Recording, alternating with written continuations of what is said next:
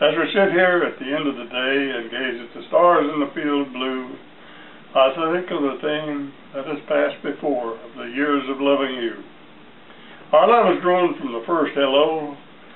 We have promised never to part. We will live all the rest of our lives together with a song in our heart. A love song, a paean, a rhapsody, and an adoration that all can see. Two lives united together forever like a wonderful.